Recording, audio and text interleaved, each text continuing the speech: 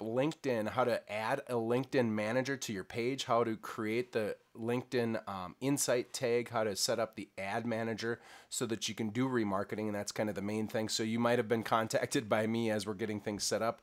And I asked you to add me as a manager. So here's what we're going to do. The first thing you do is you log into LinkedIn. And let's just assume that you already have a page made. You're going to hit me and you're going to drop down and go to company and find your company. Click on the company page which I'm already on the company page. And then once you're on your company page, go to this admin tool up here. So admin tools, okay?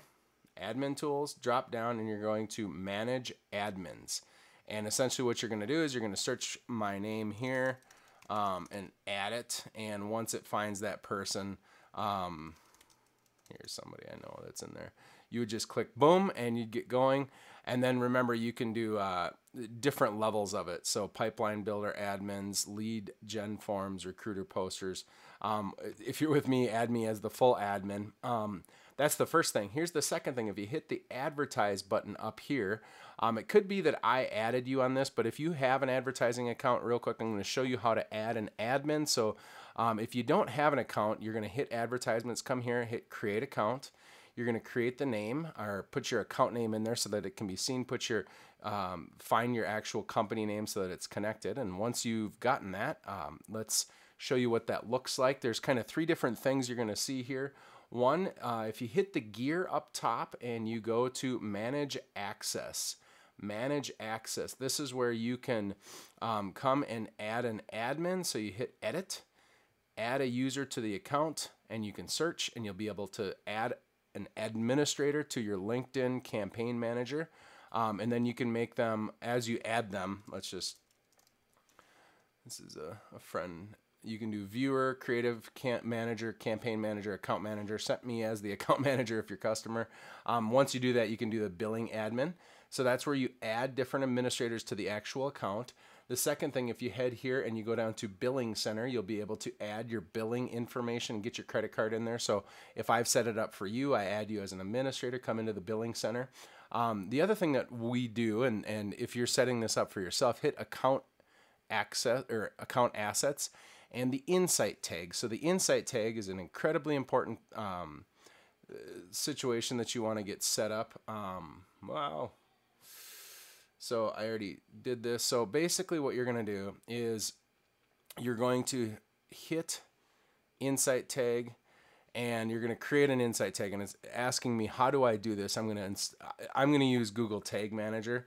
Um, but you could just grab the code and install it yourself. You put it in the header code. Otherwise um, I'm going to say say well so if you install the tag yourself here's the script so it's JavaScript. You put this in the same place that you would put your Facebook pixel, the same place you would put your uh, all of your analytics code and whatnot. But if you have a whole bunch of different scripts, it gets a little messy. I recommend using what's called Google Tag Manager to install it. So I, I have a blank one there.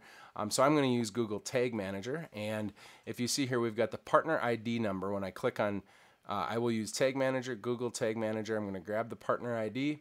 Um, essentially, what you're going to do is you're going to hit um, come into Google Tag Manager, you're going to hit tags, hit new, and uh, let's just call this LinkedIn Insight Tag and tag configuration. If you search LinkedIn here, um, it pops up and LinkedIn Insight Tag right here. So we're going to select that and it's going to ask for the Insight Tag ID. That's great. Now we're going to fire this tag on all pages so that it's there. Hit save. Once you hit save, um, you would be able to uh, preview it if you wanted to. So you could hit preview, and uh, once it's previewed, you can go to your website and actually see if it if it's on there. So if I go to which it's not right now because this is just a dummy.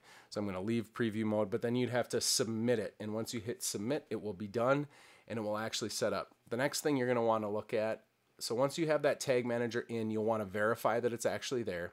Um, let's close this out. The next thing you'll really want to work on, and this is with all advertising, is when you come into account, you're going to want to work on your conversions, right? So conversions, you'll want to work with Google Tag Manager um, and a number of different, maybe a thank you page or whatnot. The idea is you need to tell it what a win is, right? So you need to tell it um, whether it's a lead, a call, whatever that is. You'll want to set up conversions so that you can use the AI or the machine learning within the account. So that's how you get LinkedIn set up, guys. Good luck. Again, this is July 2020. How to set up your insight tag, add a manager, and get everything set up.